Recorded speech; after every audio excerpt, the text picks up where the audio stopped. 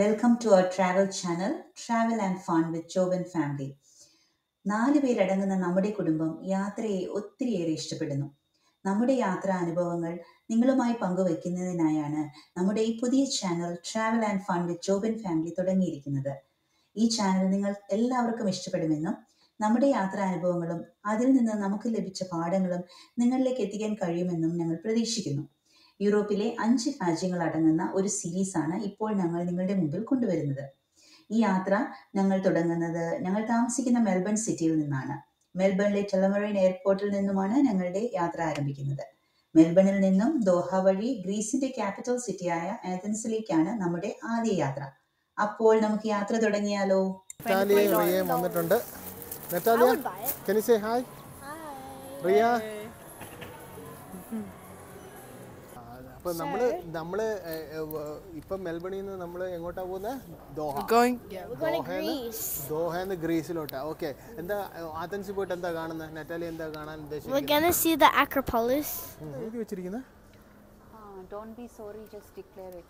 അതായത് ഇപ്പം ഭയങ്കര സ്ട്രിക്റ്റ് ആണ്. ഓസ്ട്രേലിയയിൽ നമ്മളിപ്പോൾ പോക്ക് റിലേറ്റഡ് എന്ത് പ്രോഡക്ട്സും കൊണ്ടുവരുന്നതിന് ഒരു ഒത്തിരി റെസ്ട്രിക്ഷൻസ് കൊണ്ടുവരികയാണ്.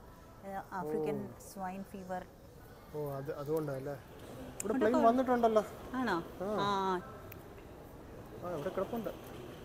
ഇത് ബോയിങ് ആണോ? Boeing triple seven E three hundred something Boeing triple സെവനാണ് ഇതാണ് നമ്മൾ പോകുന്ന പ്ലെയിൻ വളരെ കുറച്ച് പേരേ ഉള്ളല്ലോ ഇവിടെ. ഈ ഫ്ലൈറ്റിൽ ആൾ കുറവാണോ? പുതിയ പൊതുവെ തിരക്ക് കുറവാണല്ലോ ഇന്ന്. നമ്മൾ സാധാരണ സിംഗപ്പൂറൊക്കെ പോകുമ്പോഴത്തേക്ക് ഭയങ്കര തിരക്കാണ്. അതെ. ഗായ്സ് നമ്മൾ പ്ലെയിന്റെ അകത്ത് കയറി നമ്മുടെ സീറ്റ് എല്ലാവരും ഇരുന്നു. ദേ നോക്കി എല്ലാവരും. ഒന്ന് പറഞ്ഞു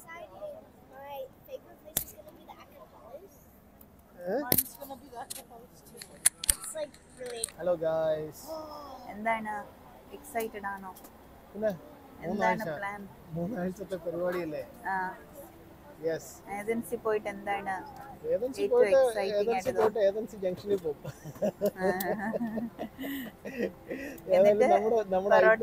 പൊറോട്ടയും ബീഫും കഴിക്കും. പൊറോട്ടയും ബീഫും കഴിക്കും. അവിടെ പൊറോട്ടയും ബീഫും കിട്ടത്തില്ല. അവിടെ സുബ്ലാക്കിയും പിന്നെ ഏതായാലും കിട്ടുന്നതൊക്കെ അവിടെ നിന്ന് കിട്ടുന്ന സാധനങ്ങളൊക്കെ നമ്മൾ വാങ്ങിക്കും ട്രൈ ചെയ്ത് നോക്കും. നമുക്ക് എക്സ്പ്ലോർ ചെയ്യാം. നമ്മൾ ഫുഡ് റിവ്യൂ ചെയ്യാണ്. ജോബിനോട് ചോദിക്കാം എങ്ങനെ ഉണ്ട് ഫുഡെന്ന്? എന്താ food?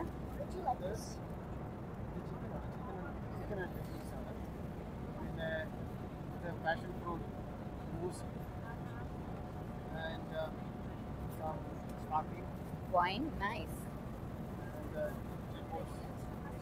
cold salad പിന്നെ ഒരു ബണ്ണ് ബണ്ണും വെള്ളം. ആൻഡ് ജ്യൂസ് അല്ലേ? ആണോ? ഓക്കെ ചിക്കൻ ഫ്രൈ ചെയ്തിട്ട് നല്ല സോഫ്റ്റ് ആണെന്ന് അല്ലേ? മോയിസ്റ്റ് ആണെന്ന് തോന്നുന്നു അല്ലേ?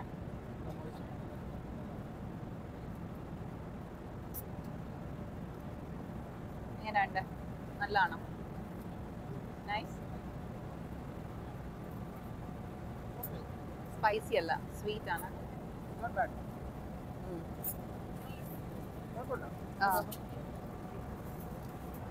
ബീഫ് നല്ലതാന്ന് പിള്ളേര് പറഞ്ഞു കഴിച്ചിട്ട് I may or may have not been trying to eat it. Okay, Natalie, try it and tell me. Do you like it?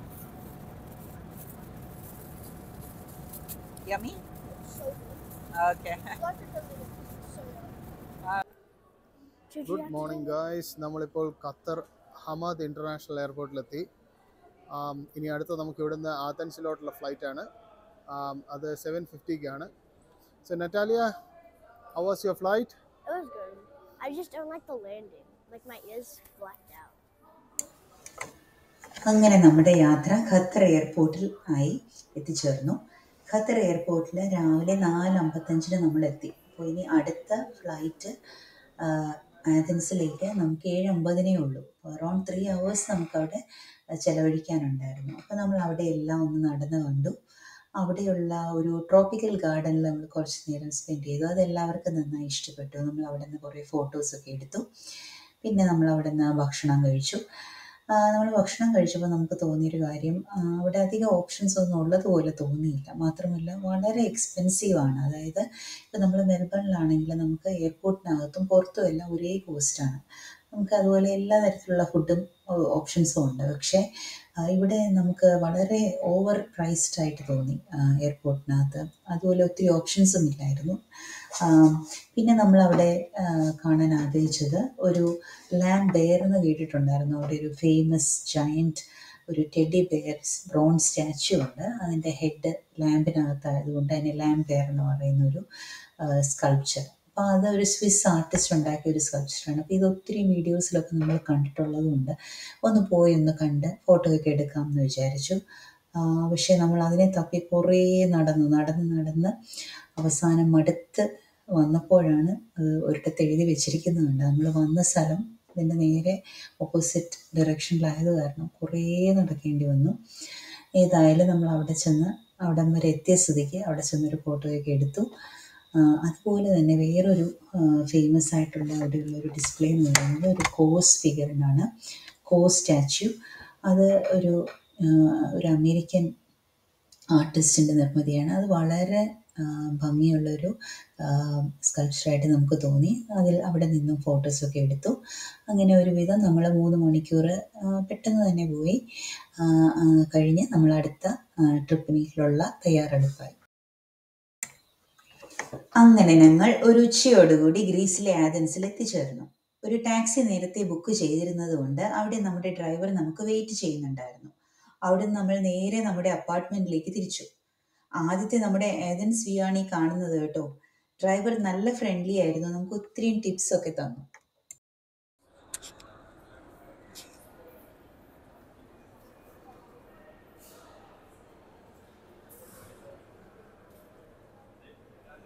Hi guys hello നമ്മളിവിടെ സിൻടാക്മ സ്ക്വയറിലെ മെട്രോ സ്റ്റേഷനിലാണ് നല്ല ബിസി ടൈമാണ് കണ്ടില്ലേ? എല്ലാവരും വരുന്നത് സോ നമ്മളിവിടെ ഇവിടെ നമ്മൾ രാത്രി അക്രോപോളിസിന്റെ വ്യൂ കാണാൻ പോവാണ്. കണ്ടോ? സോ ഇങ്ങനെ ഒരു ടിക്കറ്റ് എടുക്കണം നമുക്ക്. ഹെലനിക് ട്രെയിൻ ഇത് ശരിക്കും I think five days pass ആണ് മച്ച് ബെറ്റർ കാരണം നമ്മൾ ഓരോ ദിവസം ഡേ പാസ് എടുക്കുകയാണെങ്കിൽ you have to pay four euros അതിലും ബെറ്റർ എന്തായാലും ഫൈവ് ഡേ പാസ് എടുക്കുന്നതാണ്. സോ ഇതാണ് ഏറ്റവും നല്ല ഓപ്ഷൻ നിങ്ങൾ എടുക്കുകയാണെങ്കിൽ നിങ്ങൾ സ്റ്റേ ചെയ്യുന്നിടത്ത് നിന്ന് ഏത് മെട്രോയിൽ കയറി എവിടെ വേണോ നമുക്ക് ഏത് പബ്ലിക് ട്രാൻസ്പോർട്ടിലും പോവാം. സോ ദിസ് ഈസിയസ്റ്റ് വേ പക്ഷേ you have to be beware of pickpockets എന്തെങ്കിലും ഒത്തിരിയും ഡോഡ്ജി ആയിട്ടുള്ള ആൾക്കാരൊക്കെ ഉണ്ട്. നമ്മൾ വളരെ ശ്രദ്ധിച്ചു വേണം യാത്ര ചെയ്യാൻ. നമുക്ക് പോവാം. വരൂ. ഓഫീസ് ടൈമാണ് ചലേ കം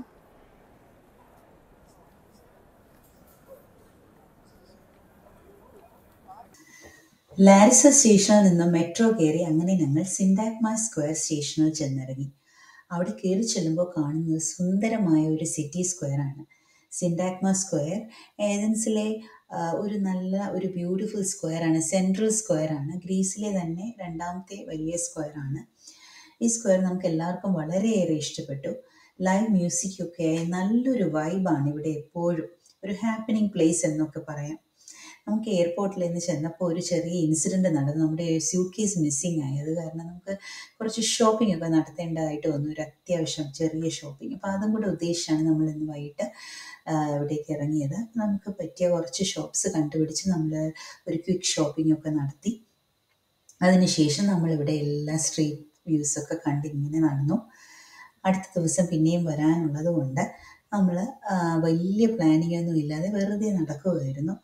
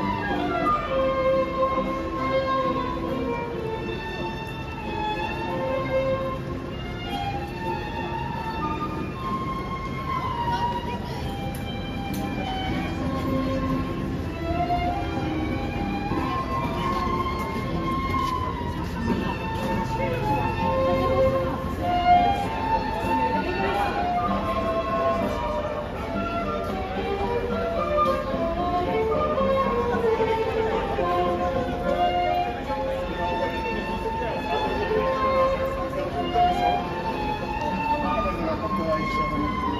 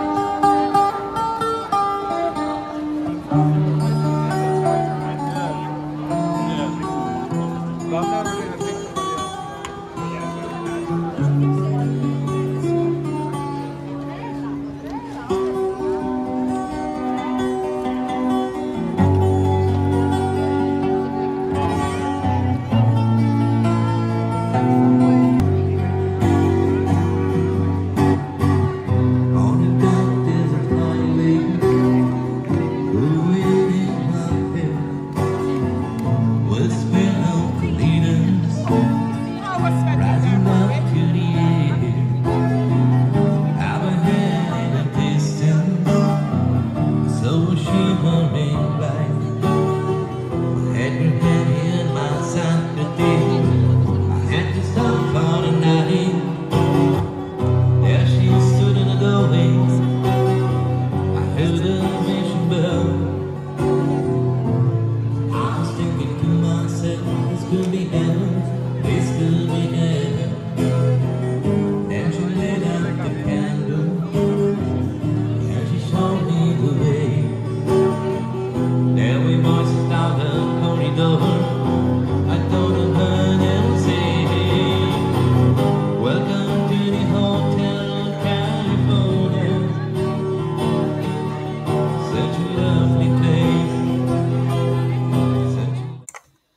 അങ്ങനെ ഒരു കെ എഫ് സി മീലും കഴിച്ച് ഏതൻസിലെ ആദ്യത്തെ ദിവസം ഞങ്ങളങ്ങ് അവസാനിപ്പിച്ചു.